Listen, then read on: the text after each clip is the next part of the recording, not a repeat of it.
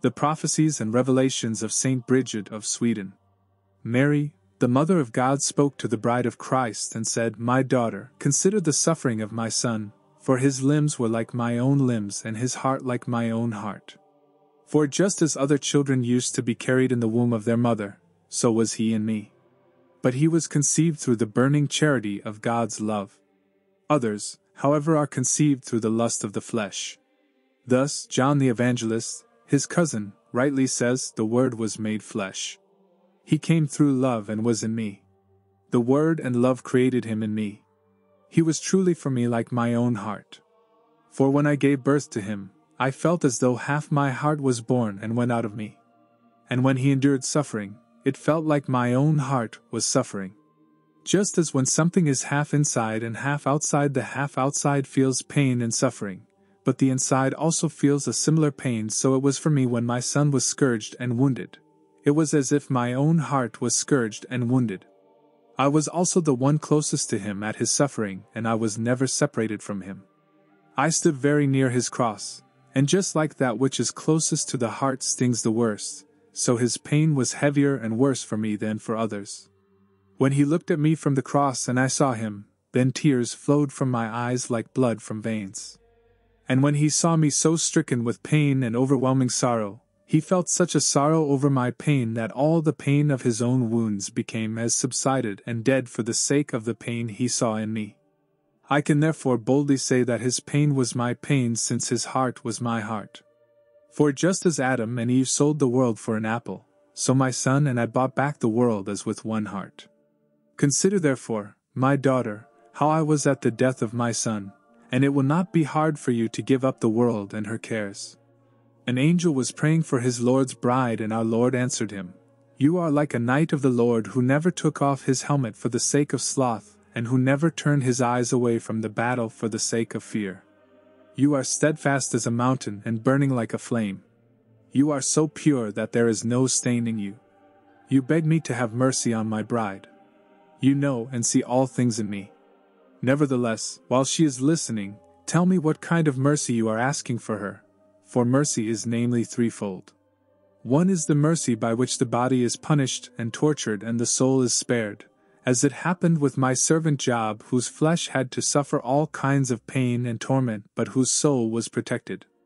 The second mercy is the one by which soul and body are spared from torment, as it was in the case of the king who lived in all sorts of lust and worldly pleasure, and had no pain either in body or soul while he lived in the world. The third mercy is the one by which soul and body are punished, so that they have distress in their flesh and sorrow in their heart, as it happened with Peter and Paul and other saints. For there are three states for humans in the world. The first state is that of those who fall into sin and get up again. These do I sometimes allow to suffer in their bodies so that they may be saved. The second state is that of those who would gladly live forever to be able to sin forever, and who have all of their will and thought directed to the world. And if they do anything for me at any time, they do it with the intention of their worldly possessions growing and prospering. Neither punishment of the body nor very much pain of the heart is given to these people, but instead they are allowed to follow their own power and will because they will receive a reward here for the least little good they have done for me to then be tormented for all eternity. For since their will to sin is everlasting, their torment shall also be everlasting. The third state is that of those who are more afraid of sinning against me and offending me than they fear any torment. They would rather endure to be tortured with unbearable pain in eternity than consciously provoke me to wrath. Sorrow of body and heart are given to these men, as with Peter and Paul and other saints, so that they may amend for all their sins in this world, or so that they may be chastised for a time for the sake of their greater glory and as an example to others. I have shown this threefold mercy to three persons in this kingdom whose names are well known to you. But now, my angel and servant, tell me, for what kind of mercy do you pray for my bride? He answered, I pray for the mercy of her soul and body so that she may amend for all her sins in this world, and so that none of her sins may come before your judgment. Our Lord answered, May it be done according to your will. Then he said to the bride, You are mine, and I will do with you as I please. Love nothing as much as me. Purify yourself constantly from sin every hour according to the advice of those I have entrusted you to. hide no sin. Leave nothing unexamined. Do not consider any sin to be light or worthy of disregard. For anything you forget, I will remind you of and judge. None of the sins you have done will come before my judgment if they are punished and expiated through your penance while you live. But those sins for which you made no penance will be purged either in purgatory or by some secret judgment of mine, unless you make a full satisfaction and amendment for them here in the world. The Queen of Heaven said, My son had three good things. The first one was that no one ever had such a beautiful body as he did, since he had two perfect natures, namely, his divinity and manhood. His body was so pure that, just as no stain can be found in the clearest of eyes, so not a single defect could be found on his body. The second good was that he never sinned. Other children, however, sometimes bear the sins of their parents, and sometimes their own. But he never sinned and yet bore the sins of everyone. The third good was that some men die for the sake of God and to receive a greater reward. But he died just as much for the sake of his enemies as for me and his friends. When his enemies crucified him, they did four things to him. First, they crowned him with a crown of thorns. Second, they pierced his hands and feet. Third, they gave him gall to drink. Fourth, they pierced his side. But now I complain that the enemies of my son, who are now in the world, crucify him more cruelly in a spiritual sense than the Jews who crucified his body. For even though the divinity is unable to suffer and die, still they crucify him through their own vices and sins. For if a man insults and injures an image of his enemy, the image does not feel the damage done to it, Nevertheless, the perpetrator should be accused and judged for his evil intention to do harm as though it was a deed. In the same way, the vices and sins by which they crucify my son spiritually are more abominable and heavy to him than the vices of those who crucified his body. But now you may ask, how do they crucify him? First off, they fasten him on the cross they have prepared for him when they do not heed the commandments of their Creator and Lord but dishonor him when he warns them through his servants to serve him. And they despise this and instead do what pleases them. Then they crucify his right hand when they hold justice to be as injustice, saying, Sin is not so heavy and abominable to God as it is said. God does not punish anyone for all eternity. He only threatens us with these hard things to scare us. Why else would he redeem men if he wanted us to perish? They do not consider that the least little sin a man finds delight in is enough to damn him to an eternal torment, and that God does not let the least little sin go unpunished, just like he does not let the least little good deed go unrewarded. Therefore, they shall be tormented for all eternity because of their constant intention of sinning, and my son, who sees the heart, counts that as a deed. For they would fulfill their will with deeds if my son tolerated or allowed it. Then they crucify his left hand when they turn virtuing to sin and the will to continue in sin until the end, saying, If we just once say at the end of our life, O God, have mercy on me, God's mercy is so great that we will be forgiven. But this is not virtue to want to sin without bettering oneself, and wanting to receive a reward without having to work for it, not unless a real contrition is found in the heart that the man wants to change if only he could do so were it not for illness or some other hindrance. Thereafter, they crucify his feet when they take pleasure in sinning without once thinking of my son's bitter suffering or without once thanking him from their inmost heart with words like these My Lord and God, how bitter your suffering was! Praise and honor be to you for your death. Such words are never heard from their mouth. They then crown him with the crown of derision when they mock his servants and consider it useless to serve him. They give him gall to drink when they rejoice and glory in sin, and not once does the thought arise in their heart of how grave and manifold and dangerous this sin is. They pierce his side when they have the will to continue in sin. In truth, I tell you, and you can say this to my friends, that such people are more unjust in the sight of my Son than those who judged him, more unkind than those who crucified him, more shameless than those who sold him, and they shall therefore receive a greater torment than the others. Pilate knew very well that my son had not sinned and did not deserve to die. But he, nonetheless, felt compelled to judge my son to death because he feared the loss of his worldly power and the revolt of the Jews. But what would these have to fear if they served my son, or what honor or dignity would they lose if they honored him? They will therefore be judged with a more severe sentence than Pilate's, for they are worse than him in my son's sight. For Pilate judged him because of the request, and will of others endue to fear. But these judge him for their own advantage, and without any fear when they dishonor him by committing the sin that they could abstain from if they wanted. But they do not abstain from sin nor are they ashamed of the sins that they have done, for they do not consider that they are unworthy of the good deeds of the one whom they do not serve. They are also worse than Judas, for when Judas had betrayed his Lord, he knew very well that he was God and that he had sinned heavily against him. But he despaired and hastened his days toward hell, thinking himself to be unworthy to live. But these know their sin very well, and yet they continue in it without feeling any remorse about it in their hearts. They want to take the kingdom of heaven with violence and power when they think they can get it, not through their good deeds but through a vain hope. But it is only given to those who work and suffer something for the sake of God. They are also worse than those who crucified my Son. For when these saw the good works of my Son, namely, the raising of the dead and the cleansing of lepers, they thought to themselves, This man does unheard of and extraordinary miracles. He overcomes anyone he wants with a word, he knows all our thoughts, and he does whatever he wants. If he is successful, we will all have to submit to his power and become his subjects. Therefore, in order to avoid being subjected to him, they crucified him because of their envy. But if they had known that he was the King of glory, they never would have crucified him. But these people see his great deeds and miracles every day, and they take advantage of his good deeds and hear how they should serve him and come to him. But they think to themselves, if we must leave all our temporal belongings and follow his will and not our own, it would be heavy and unbearable.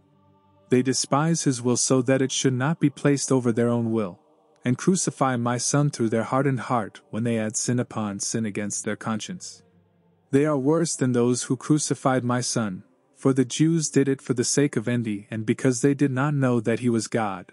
But these know him to be God, and yet, in their own malice and presumption and greed, they crucify him spiritually more cruelly than the Jews did physically. For they themselves have been redeemed, but the Jews had not yet been redeemed. Therefore, my bride, Obey my son and fear him, for just as he is merciful, he is also just. The Father spoke to the Son, saying, I came with love to the Virgin and took your true body from her. You are therefore in me and I in you. Just as fire and heat are never separated, so it is impossible to separate the divinity from the manhood. The Son answered, May all glory and honor be to you, Father. May your will be done in me and mine in you. The Father answered him again, Behold, my son, I am entrusting this new bride to you like a sheep to be guided and educated. As the owner of the sheep, you will get from her cheese to eat, and milk to drink, and wool to clothe yourself with. But you, bride, should obey him. You have three things you must do you have to be patient, obedient, and willing to do what is good. Then the son said to the father, Your will with power, power with humility, humility with wisdom, wisdom with mercy. May your will be done, which is and always will be without beginning nor end in me. I take her to myself into my love, into your power, and into the guidance of the Holy Spirit, which are not three gods but one God. Then the Son said to his bride, You have heard how the Father entrusted you to me like a sheep. You must therefore be simple minded and patient like a sheep and fruitful in producing food and clothing. Three people are in the world. The first is completely naked, the second is thirsty, and the third is hungry. The first signifies the faith of my church, and it is naked because everyone is ashamed and afraid to speak of the true faith and of my commandments. And if some people do speak or teach about such things, they are despised and accused of being liars. Therefore, my words which proceed from my mouth should clothe this faith like wool. For just as wool grows on the body of a sheep by the heat, so too my words proceed from the heat of my divinity and manhood to your heart. They will clothe my holy faith with the testimony of truth and wisdom and prove that the faith which is now regarded as vain is true, so that the ones who, up to now, have been lazy in clothing their faith in deeds of love after hearing my words of love, will be converted and enkindled again in order to speak with certitude of faith and act with power. The second one signifies my friends who have a thirsting desire to make my honor perfect, and are saddened at my dishonor. They shall be filled with the sweetness that they heard in my words, and enkindled with a greater love for me, and along with them, others who are now dead in sin, will also be enkindled in my love, when they hear of the mercy I have done with sinners. The third one signifies those who think thus in their hearts. If only we knew the will of God and how we should live, and if anyone taught us about the good way, we would gladly do what we could for the honor of God. These are hungry to get to know my way and will, but no one feeds them, since no one shows them completely what they should do, and if they are shown or taught what to do, no one lives according to the words with their deeds. And for this reason, the words seem as dead to them. Therefore, I myself shall show and teach them what they should do, and I will fill them with my sweetness.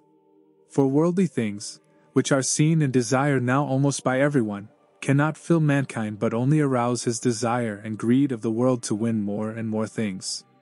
But my words and my love will feed men and fill them with an overflowing consolation. Therefore, my bride, who are my sheep, you must take great care to keep your patience and obedience. You are all mine by right and should therefore follow my will. The one who wants to follow the will of another should have three things. First, he should have the same will and opinion as the other. Second, have similar deeds. Third, he should move away from his enemies. But who are my enemies if not pride and every sin? You should therefore move away from them, if you desire to follow my will. The Son of God said, I had three things in my death. First, faith, when I bent my knees and prayed to the Father, knowing that He was able to save me from the suffering. Second, hope, when I steadfastly waited and said, Not as I will. Third, love, when I said, Thy will be done. I also had bodily agony from the natural fear of suffering when the sweat of blood went out of my body. Thus, in order that my friends should not fear that they are abandoned when the moment of tribulation comes to them, I showed them in myself that the weak flesh always flees from suffering. But now you may ask how the sweat of blood went out of my body.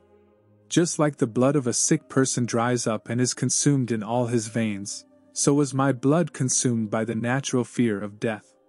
My father wanted to show the way by which heaven would be opened and the exiled man to be able to enter therein.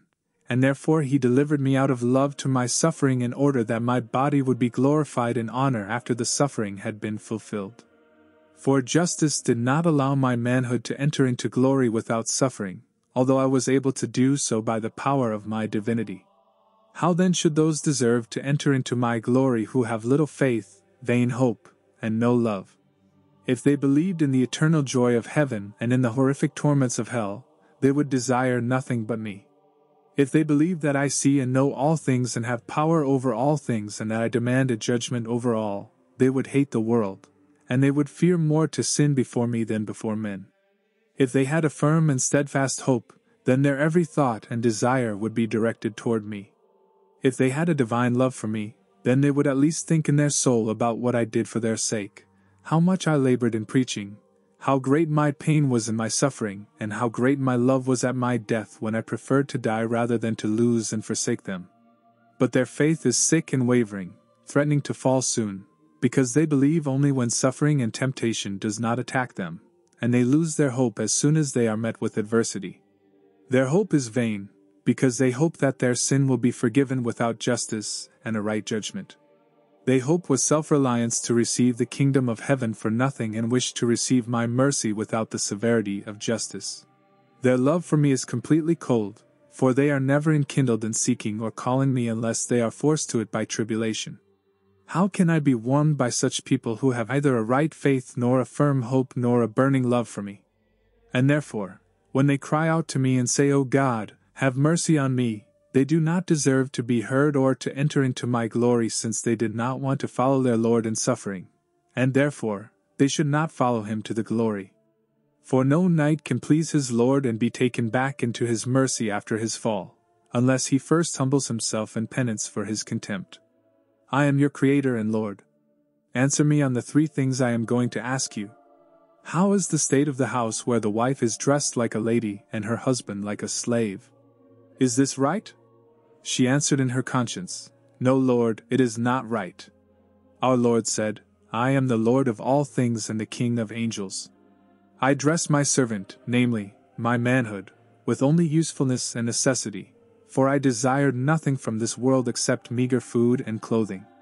But you, who are my bride, want to live like a lady, and wish to have wealth and honor and be held in honor.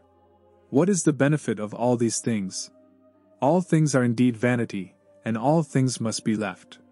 Mankind was not created for any superfluity, but only to have what the necessity of nature requires. This superfluity was invented by pride, and it is now held and loved as the law. Second, tell me if it is right for the man to work from morning to evening and then for the wife to spend everything that has been gathered in a single hour? She answered, No, this is not right. The wife is instead obliged to live and act after the will of her man. Our Lord said, I acted like the man who works from morning to evening, for from my youth up to the time of my suffering, I worked in showing the way to heaven by preaching and by fulfilling what I preached with deeds. But the wife, that is, the soul, who should be like my wife, wastes all my work when she lives frivolously so that nothing of what I have done and suffered for her sake can benefit her, nor do I find any virtue in her in which I can delight in. Third, tell me, is it not wrong and abominable for the master of the house to be despised and for the slave to be honored? She answered, Yes, it indeed is. Our Lord said, I am the Lord of all things. My house is the world, and mankind should, by right, be my servant. But I, the Lord, am now despised in the world and the man honored. Therefore shall you, whom I have chosen, take care to do my will, because everything in the world is nothing but sea foam and a false dream. I am the creator of all things. I was born of the Father before Lucifer. I am inseparably in the Father, and the Father in me, and one Spirit in us both. Accordingly, there is one God Father, Son, and Holy Spirit, and not three gods. I am the one who promised the eternal inheritance to Abraham, and led my people out of Egypt through Moses. I am the one who spoke through the prophets. The Father sent me to the womb of the Virgin without separating himself from me but remaining inseparably with me so that mankind, who had abandoned God, would return to God through my love. But now, in your presence, my heavenly host, although you see and know all things in me, yet for the sake of the knowledge and teaching of my bride standing here, who cannot understand spiritual things except through a corporal parable. I make a complaint before you over these five men who are standing here, for they provoke me to wrath in many ways. Just as I once, in the law, with the name of Israel, signified the whole Israelite nation, so now by these five men I signify every man in the world. The first man signifies the leader of the church and his priests, the second, the evil lady, the third, the Jews, the fourth, the heathens, and the fifth, my friends. But from you, Jew, I exclude all the Jews who are Christians in secret, and who serve me secretly in a pure love, a right faith, and a perfect deed. And from you, heathen, I exclude all those who would gladly walk in the way of my commandments, if they only knew and were taught how they should walk and live, and who with their deeds do as much as they know and are able. These shall by no means be judged with you. I now complain over you, O head of my church, who sit on my seat which I gave to Peter and his successors to sit on with a threefold dignity and power. First, so that they would have the power of binding and loosing souls from their sins. Second, so that they would open heaven for the penitent. Third, so that, that they would close heaven to the damned and to those who despise my law. But you, who should be healing souls and presenting them to me, you are in truth a murderer of souls. I appointed Peter as shepherd and guardian of my sheep. But you, however, scatter and wound them. You are worse than Lucifer. For he was envious of me and desired to kill none but me so that he could rule in my place. But you are so much worse, for you do not only kill me by driving me off from yourself by your bad deeds, but you also kill souls by your bad example. I redeemed the souls with my blood and entrusted them to you as to a faithful friend but you deliver them back again to the enemy from whom I redeemed them. You are more unrighteous than Pilate. He judged no one else but me to death. But you not only judge me as if I were a powerless lord and worthy of no good thing, no, you also judge and condemn the souls of the innocent and let the guilty go free without any rebuke. You are more cruel than Judas who only sold me. But you not only sell me, but also the souls of my chosen men for your own shameful profit, and vain name's sake. You are more despicable than the Jews, for they only crucified my body. But you crucify and torture the souls of my chosen men for whom your malice and your sins are more bitter than from any wound from a sword. And so, since you are like Lucifer and more unrighteous than Pilate and more cruel than Judas and more despicable than the Jews, I complain over you with justice. To the second man, that is, to the laity, our Lord said, I created all things for your benefit. You gave your consent to me and I to you. You gave me your faith and promised by oath that you would serve me. But now, you have deserted me like a man who does not know his God. You hold my words for a lie and my deeds as vanity. And you say that my will and my commandments are too heavy. You have violated the faith you promised me. You have broken your oath and abandoned my name. You have separated yourself from the number of my saints, and have come to belong to the number of the devils, and you have become their friend. You think that no one is worthy of praise and honor but yourself.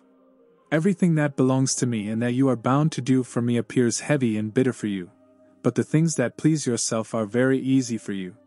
Therefore, I complain over you with right, for you have broken the faith you gave me in baptism and later, and for the love I have shown you in word and deed, you mock me and call me a liar, and for my suffering you call me a fool. To the third man, that is, to the Jews, he said, I began my deed of love with you, and I chose you as my people. I led you out of slavery, I gave you my law, I brought you into the land I had promised your fathers, and I sent you prophets to console you. Thereafter, I chose a virgin for myself from among you from which I assumed manhood. But now I complain over you since you do not want not believe in me, but say, the Christ has not yet come, he is still to be expected. Our Lord said to the fourth man, that is, to the heathens, I created and redeemed you like the Christian man, and I created all good things for your sake. But you are like a man out of his senses, because you do not know what you are doing. You are also like a blind man, because you do not see where you are going. You honor and worship the created things instead of the Creator, and the false instead of the true and you bend your knee before things that have less worth than yourself. That is why I complain about you.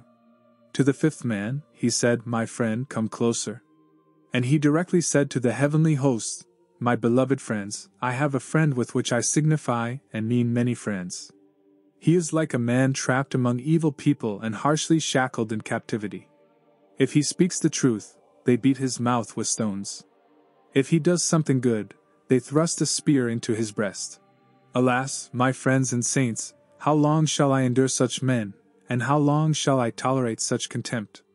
Saint John the Baptist answered, You are like the most pure mirror, for we see and know all things in you as in a mirror without any help of words and speech.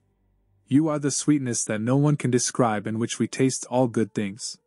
You are like the sharpest of swords, for you judge in righteousness. Our Lord answered him, Indeed, my friend, you said the truth, for my chosen men see all goodness and righteousness in me, and even the evil spirits see it in their own conscience, but not in the light. Just like a man placed in a dark prison, who had earlier learned the letters, knows that which he had learned before, even though he is in darkness and currently cannot see, so it is with the devils. Even though they do not see my righteousness in the light of my clarity, they still know and see it in their conscience. I am also like a sword that separates things into two parts. In this way I give each and every person what they deserve. Then our Lord said to St. Peter, You are the founder and defender of the faith and of my church. While my host is listening, state the sentence of the five men. Peter answered, O Lord, all praise and honor to you for the love you have shown to your earth.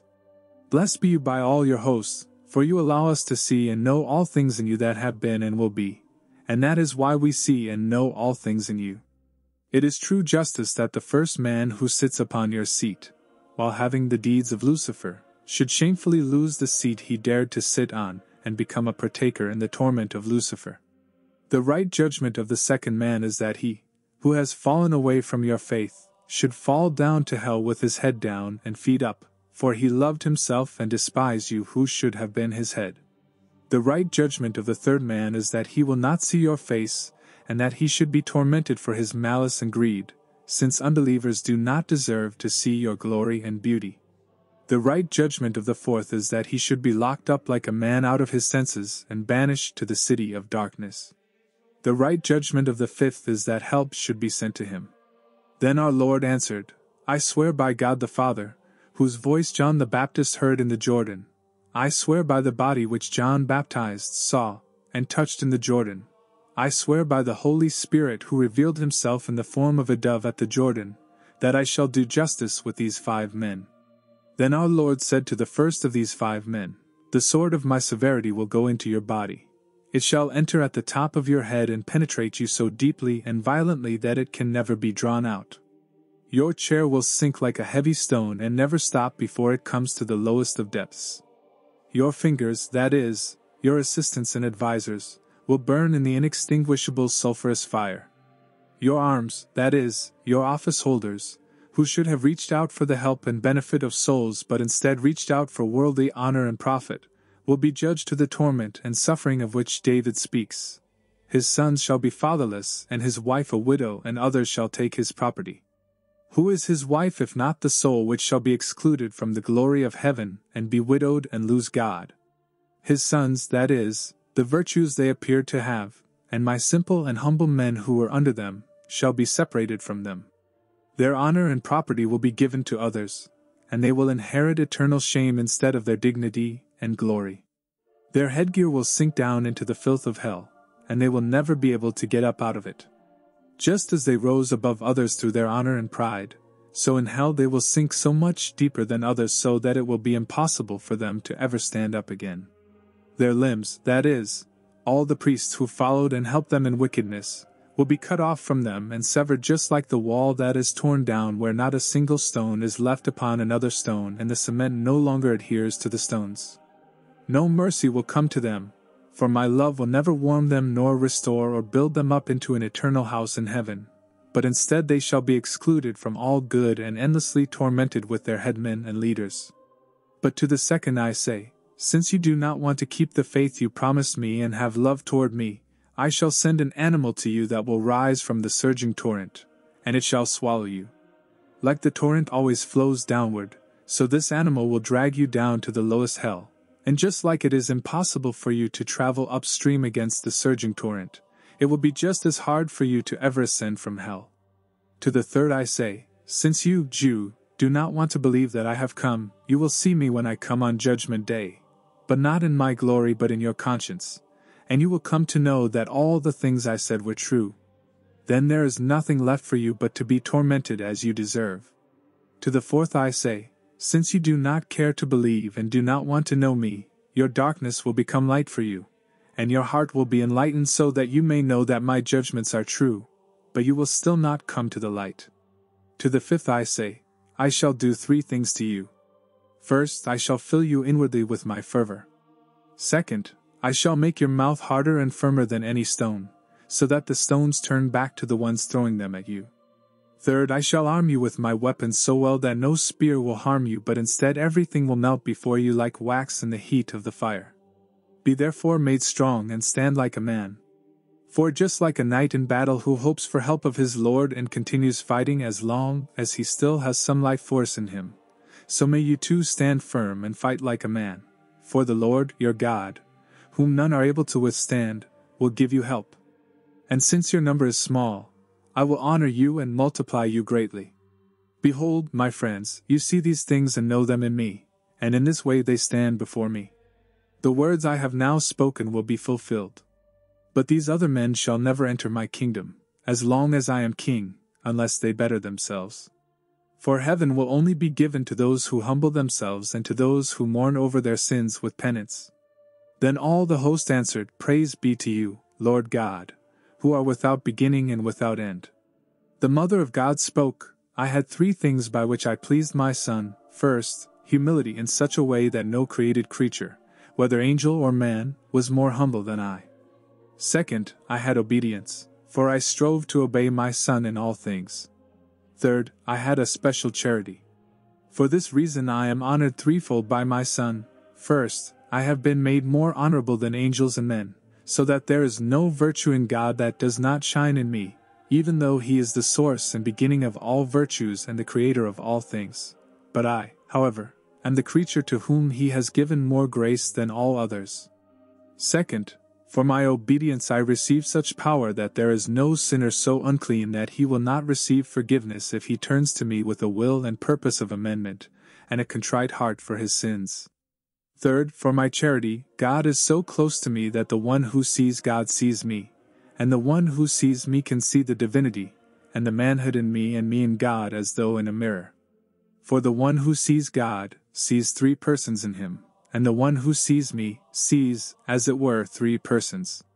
For the divinity enclosed me in soul and body in himself and filled me with every virtue, so that there is no virtue in God that does not shine and appear in me although God Himself is the Father and giver of all virtues.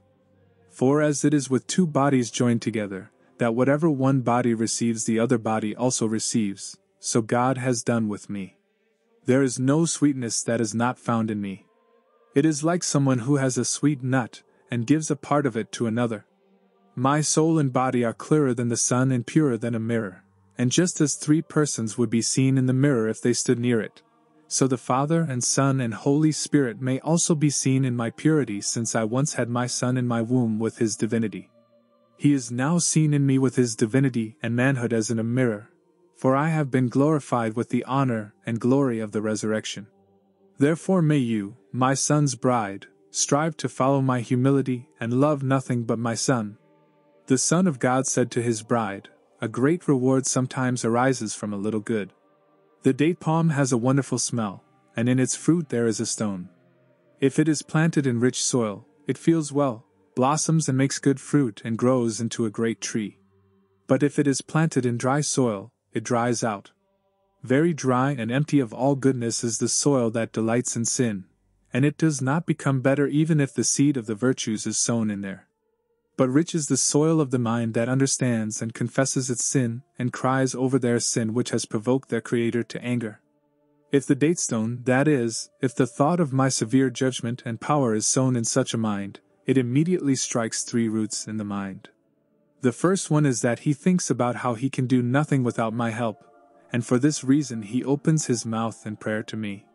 The second is that he begins to give some small alms to me for the sake of my honor, the third is that he separates himself from worldly affairs in order to better serve me. He then begins to restrain himself from superfluities through daily fasting and abstains from and denies his own will and lust, and this is the trunk of the tree. After this, the branches of love grow when he leads and draws everyone he can toward the good. Then the fruit grows when he also instructs others in goodness as much as he can and with all piety tries to find ways of increasing my honor. Such a fruit is the best one and most pleasing to me. And so, from a small good, man rises up to perfection. When he first takes root through a little piety, the body grows through abstinence, the branches are multiplied through charity, and the fruit is increased through preaching.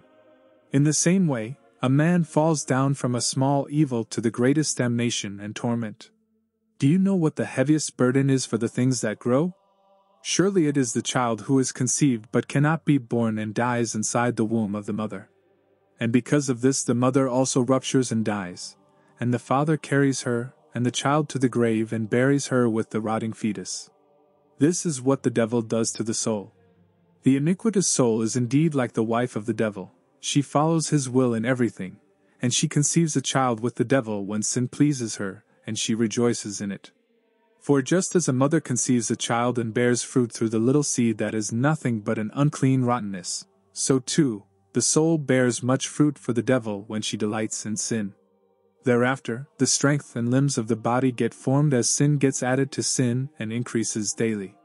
When the sins increase, the mother swells up and wants to give birth, but cannot since her nature is consumed in sin, and her life becomes detestable. She would gladly desire to sin even more, but she cannot, and it is not allowed by God. Then the fear arrives because she cannot fulfill her will, and her strength and joy are gone. Pain and sorrow are everywhere. While she is now despairing of being able to do any good thing or any good deed, her womb ruptures, and she dies while blaspheming and insulting God's judgment and punishment. Then she is dragged by her father, the devil, down to the grave of hell where she is buried for all eternity with the rot of her sin and the child of her evil lust. Behold how sin increases from a small evil and grows unto damnation. I am the Creator and Lord of all things. I created the world, and the world despises me. I hear a voice from the world like that of a bumblebee who gathers honey on the earth. For when a bumblebee is flying and begins to land on the ground, It emits a very raspy voice. I now hear this raspy and ignorant voice in the world, saying, I do not care what comes after this. In truth, now everyone is shouting, I do not care what comes after this, and may I have my own will. Indeed, mankind does not care about what I did for the sake of love by preaching and suffering for them and by admonishing them through the prophets and they do not care about what I did in my anger by executing my vengeance upon the evil and disobedient. They see that they are mortal and that death can strike them unexpectedly, but they do not care. They hear and see my justice which I exercised on Pharaoh and on Sodom for the sake of sin, and how I execute vengeance on other kings and rulers, and how I daily allow it to happen through the sword and other afflictions, but it is as if they were blind to all these things and for this reason they fly like bumblebees wherever they desire, and sometimes they fly as if they were jumping and running, for they exalt themselves in their pride, but they come down quickly by returning to their lust and gluttony. They also gather sweetness for themselves from the earth, for man works and gathers for the needs of the body and not for the soul, and for worldly honor but not the eternal. They transform the temporal things into a suffering for themselves, and what is useless, into eternal torment. But for the sake of the prayers of my mother, I will send my clear voice to these bumblebees, from which my friends are excluded, for they are in the world only in body, and it shall preach mercy. If they will listen to it, they will be saved. The Mother of God said, Bride of my Son, clothe yourself and stand firm, for my Son is approaching you. His flesh was pressed as in a winepress. For since mankind sinned in all limbs, my Son made atonement in all his limbs. His hair was pulled out, his sinews extended, his joints were dislocated, his bones mangled, and his hands and feet were pierced through. His mind was saddened, his heart afflicted by sorrow, his intestines was forced in toward his back, for mankind had sinned in all limbs. Then the Son spoke, while the heavenly host was present, and he said, Although you know all things in me, still I speak for the sake of my bride standing here. I ask you, angels, what is it that was without beginning and shall be without end? And what is it that created everything and was created by none? Proclaim it and give your testimony. All the angels answered as with one voice and said, Lord, it is you. We give testimony to you about three things. First, that you are our Creator and that you created all things in heaven and on earth.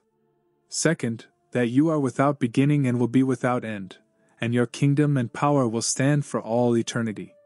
Without you, nothing has been created, and without you, nothing can be created. Third, we testify that we see all justice in you and all the things that have been and will be, and all things are present to you without beginning or end. Then he said to the prophets and patriarchs, I ask you, who brought you out of slavery into freedom? Who divided the waters for you? Who gave you the law? Who gave you the prophetic spirit to speak about future things? They answered him, saying, You, Lord. You brought us out of slavery. You gave us the law. You moved our spirit to speak and prophesy about future things. Then he said to his mother, Give true testimony about what you know of me. She answered, Before the angel, whom you sent, came to me, I was alone in soul and body. But after the angel's words, your body was within me with divinity and manhood, and I felt your body in my body. I bore you without pain and suffering. I gave birth to you without anguish and travail. I wrapped you in poor clothes and I fed you with my milk. I was with you from your birth until your death. Thereafter he said to the apostles, Say who it was that you saw, heard, and touched? They answered, We heard your words and wrote them down. We heard and saw the great works that you did when you gave us the new law. You commanded the demons with one word to leave humans, and they obeyed you and went out and with your word you raised the dead and healed the sick. We saw you in a human body. We saw your great power and divine glory with your human nature. We saw you handed over to your enemies, and we saw you hanging on the cross. We saw you suffer the most bitter pain, and we saw you be laid in the grave. We touched you when you were raised from the dead. We touched your hair and your face. We touched the place of your wounds and your limbs. You ate with us and you gave us your eloquence. You are truly the Son of God and the Son of the Virgin. We also observed when you ascended with your manhood to the right hand of the Father where you now are and will be without end. Then God said to the unclean demon spirits, Although you hide the truth in your conscience, still I now command you to say the truth about who it was that reduced your power. They answered him, Just like thieves do not tell the truth unless their feet are pressed in the hard wood, so we do not speak the truth unless we are forced by your divine and formidable power. You are the one who, with your power, descended into hell. You reduced our power in the world. You took out from hell what was yours by right, namely your friends. Then our Lord said, Behold, all those who have a spirit and are not clothed in a body, bear witness to the truth for me. But those who have a spirit and a body, namely humans, contradict me. Some know the truth of me but do not care about it. Others do not know it, and therefore, they do not care about it but say it is all false. He again said to the angels, They say that your witness is false, that I am not the creator of all things and that all things are not known in me. Therefore, they love the created things more than me, who am the creator. He said to the prophets, They contradict you and say that the law is useless, that you can be saved through your own power and wisdom, that the Spirit was false, and that you spoke according to your own will. He said to his mother, Some say that you are not a virgin, and others, that I did not take a body from you. Others know it but do not care about it. He said to the apostles, They contradict you, for they say that you are liars and that the new law is irrational and useless. Others believe it to be true but do not care about it. I ask you now, who will be their judge? They all answered him, saying, you, God, who are without beginning and without end. You, Jesus Christ, who are with the Father, to you is all judgment given by the Father, you are their judge. Our Lord answered, I who grieved for them am now their judge. But even though I know and can do all things, still, give me your judgment over them. They answered him, Just as the whole world perished once at the beginning of the world in Noah's flood, so too now the world deserves to perish by fire since the wickedness and injustice are much greater now than what it was then. Then our Lord answered, Since I am just and merciful, I shall make no judgment without mercy nor mercy without justice, and therefore, I will once more send my mercy to the world for the sake of the prayers of my mother and my saints. But if they do not want to listen, the most severe and harsh justice will follow and come to them. Let's pray. In the name of the Father, and of the Son, and of the Holy Spirit. Amen. Our Father, who art in heaven, hallowed be thy name. Thy kingdom come. Thy will be done, on earth as it is in heaven. Give us this day our daily bread. And forgive us our trespasses, as we forgive those who trespass against us. And lead us not into temptation, but deliver us from evil. Amen. Hail Mary, full of grace, the Lord is with thee. Blessed art thou among women and blessed is the fruit of thy womb, Jesus. Holy Mary, Mother of God, pray for us sinners now, and at the hour of death. Amen.